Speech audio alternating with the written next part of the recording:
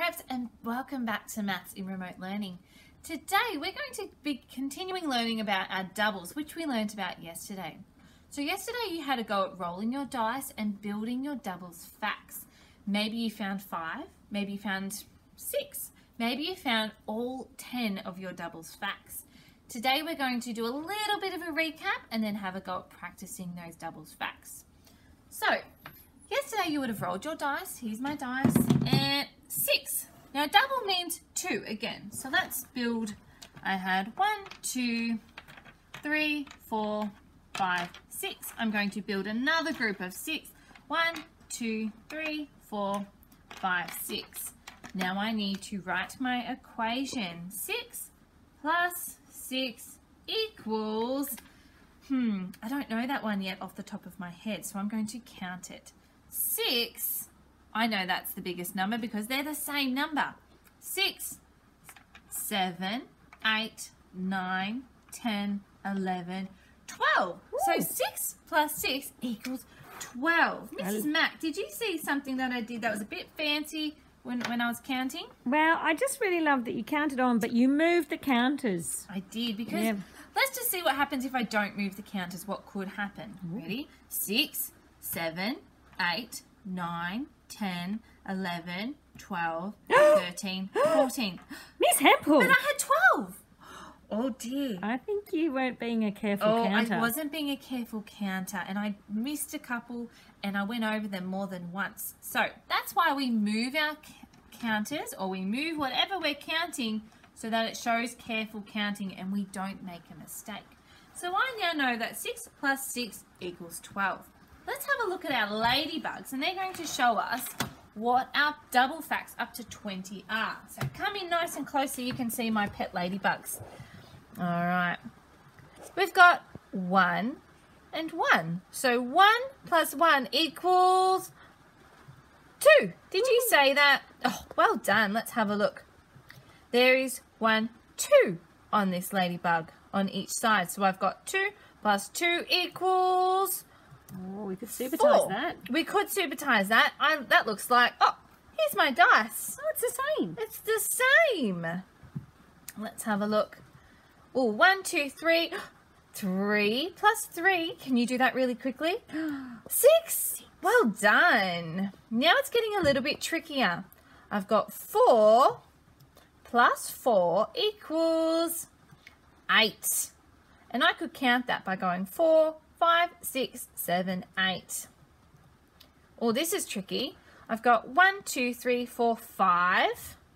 Five plus five equals, oh, and I know if I go five plus five equals 10 because I have 10 fingers. What a tricky one that is. It, it looks so different to a 5 on a dice. It does. Here is my 5 on a dice. So they look very different, but I can count them to check and make sure. Or you might be able to just look at it and subitise to know how many there are. I've got, oh, this one looks a little bit like this one. That's a 6. So 6 plus 6 equals 12. Oh, we did that. Let's have a look. We did do that one. We yep. were right. Now, it's really important to make sure that your plus and your equals are in your equation. Oh, this is hard. I don't know this one just looking at it. One, two, three, four, five, six, seven. Oh, 7. I could also look that that is 6. And one more is 7. So I've got Ooh. 7 plus 7 equals, hmm, 7, 8, 9, 10, 11, 12, 13, 14. Oh, we are right. Well done. This looks tricky. Oh, not so tricky that I can't work it out. If this is 6, then that's 7, 8. There is 8 on each side. 8 plus 8 equals 16. You might have found that one yesterday as a bit of a tricky one. We knew that this was 8, so that must be 9. 9 plus 9 equals 9. 10, 11, 12, 13, 14, 15, 16, 17, 18. That is a big number. Whoa. Now, if the last one was 9, this must be 10. That's right. I've got 10 plus 10 equals, I reckon you'll all get this one, 10 plus 10 equals 20. Ooh. Well done. Did you get that one? You could count all your fingers You and toes could. and work that oh, out. Oh, we could. I didn't even think of that. I had 10 toes. Oh, I forgot. okay. Perhaps you're now going to have a go at doing your own ladybirds. And we're going to count how many dots are in each wing. So I've got six, and I know that because I'm subitizing.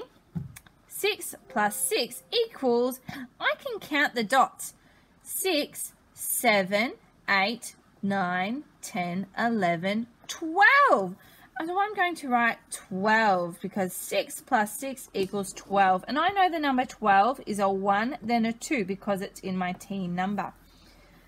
This is, I've got 2 plus 2 equals, oh, I can look at that one and know that is 4 because that looks just like my dice. Oh, this is tricky. It tells us I've got 10 plus 10 equals, we just saw that. It is 20, but I can check to find out. 10, 11, 12, 13, 14, 15, 16, 17, 18, 19, 20. Oh, we are right. You're going to have a go at doing this side first, and then for a challenge, you're going to oh, not do the other side. There's nothing on the other side. You're going to have a look at doing the number two page with your ladybugs. And down here, I need to write my own equations. Remember, equation has the plus and an equals. So this one, we need to count how many is on each side. One, two, three, four, five, six. That is six plus six equals, let's have a look, six, seven, eight, nine, ten, eleven, twelve. Let's go do, let's do this one. One, that's a nice easy one for you all. One plus one equals, oh, one, two. What about this one? I've got, this one doesn't look like anything I've seen, but I can see it's one, two, three, four, five plus five equals Show me your hands. 10. Woo! 5 and 5 equals 10. I have 10 fingers, so I'm going to write my answer. So first you're going to have a go at solving these equations, and then you're going to write your own. If you would like to play a game at the end with a grown-up or just later in the day, you can have a look at getting a some playing cards, and you might like to flash a card really quickly, and then you can yell out which is the doubles fact. All right, perhaps have a lovely day of learning, and we will see you tomorrow.